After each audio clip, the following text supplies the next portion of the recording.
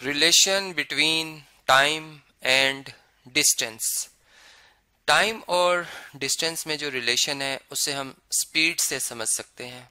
मतलब स्पीड हम इस तरह डिफाइन करते हैं कि ये एक रेट है, जिसमें हम किसी बॉडी का डिस्टेंस देख रहे होते हैं कि वो कितना डिस्टेंस कवर कर रही है पर यूनिट टाइम मतलब टाइम के हिसाब से एक सेकंड में या एक मिनट में इस तरीके से हम उसे नोट कर रहे होते हैं।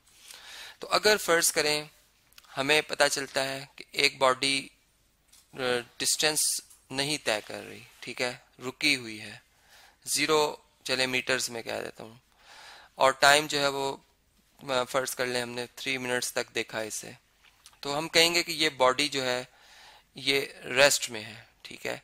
और इसकी स्पीड जिसे हम वी से ज़ाहिर करेंगे, वो ज़ीरो मीटर पर मिनट आ जाएगी, ठीक है? तो इसकी स्ट्रेट पता चल रही है कि ये रेस्ट में है, ठीक है? इसी तरह फ़र्ज़ करें, अगर एक बॉडी है कोई, मैं यहाँ पर बना भी लेता हूँ, कोई चले बटरफ्लाई मैंने बनाई। ये पहले इस पोजीशन पे थी और मूव होके इस पोजीशन पे आ गई है। इसको मैं कोई नाम दे देता हूँ ए पोजीशन इसे बी पोजीशन इसका पाथ फ़र्ज़ करें, कुछ इस तरह से था। अब इसने चूँकि टाइम के हिसाब से डिस्टेंस कवर किया है तो मैं कहूँगा कि ये मोशन में है ठीक है? और फ़र्ज़ करें इसने जो ये डिस्टेंस कवर किया है यह है फाइव मीटर्स का ठीक है? जबकि इसे इस ए पोजीशन से बी पोजीशन तक आने में जो टाइम लगा है जिसे मैं चलें टी से लिख रहा था इससे पहले वो फ़र्ज़ करें आ, वो है वन मिनट ठीक है? तो फिर इस बटरफ्लाई की स्पीड जो होगी, जिसे हम वी से ज़ाहिर करेंगे, वो बन जाएगी। यहाँ पे देखें, जैसे फाइव मीटर लिखेंगे डिस्टेंस की जगह टाइम की जगह वन मिनट तो फाइव मीटर पर वन मिनट तो ये आ जाएगा आंसर हमारा फाइव मीटर पर मिनट्स अब फिजिक्स के अंदर जो स्पीड है, इसके यूनिट्स होते हैं मीटर पर सेकंड यानी जैसे हम जानते हैं कि एक मिनट जो है, वो 60 सेकंड्स के इक्वल होता है, ठीक है? तो इसका मतलब हम अगर मिनट्स को सेकंड्स में लाना चाहते हैं तो हम यहाँ पर 60 सेकंड लिख देंगे। मतलब ये कन्वर्जन है। जो कि मैं इससे नेक्स्ट लेक्चर में आपको डिटेल में समझा दूँगा कि कैसे हम यूनिट्स जो हैं वो कन्वर्ट करते हैं। हम इसे नेक्स्ट देख लेते हैं। जैसे फ़र्ज़ करें, हम कहते हैं एक बॉडी ए है और वो बॉडी जो है फ़र्ज़ करें डिस्टेंस कवर करती है।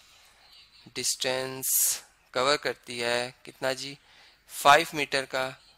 और टाइम जो इसने इस डिस्टेंस को कवर करने में लगाया है, वो है फ़र्ज़ कर लें 45 सेकंड्स का, ठीक है?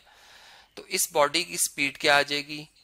वो आ जाएगी 5 मीटर डिवाइडेड बाय 45 सेकंड जो कि आप मज़ीद सिंपल बना सकते हैं कि 5 वन टाइम 5 5 नाइन टाइम 45 तो ये बन जाएगी वन ओवर नाइन मीटर पर सेकंड।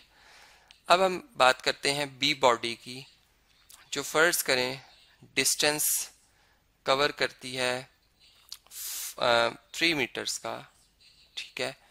और टाइम जो इसने, इसमें लगाया है, इस डिस्टेंस को कवर करने में वो 45 सेकंड्स ही हैं, ठीक है?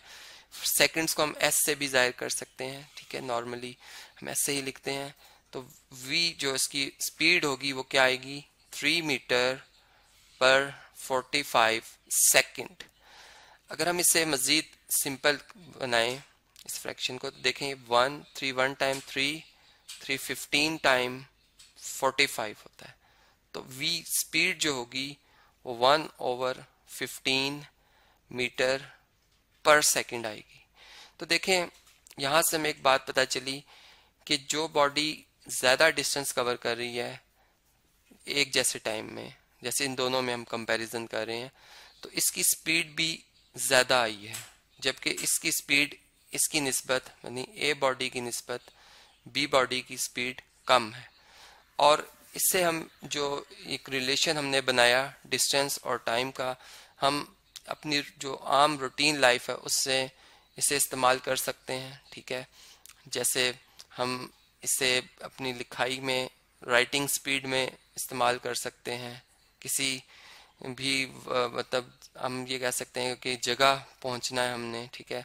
तो उस लिहाज से अगर स्पीड पता हो डिस्टेंस फाइंड करना हो, और टाइम बता दिया जाए तो हम डिस्टेंस निकाल सकते हैं, ठीक है? मतलब हम इससे रोज़मर्रा के जो अपने प्रॉब्लम्स हैं, वो बड़े आसानी के साथ सॉल्व कर सकते हैं।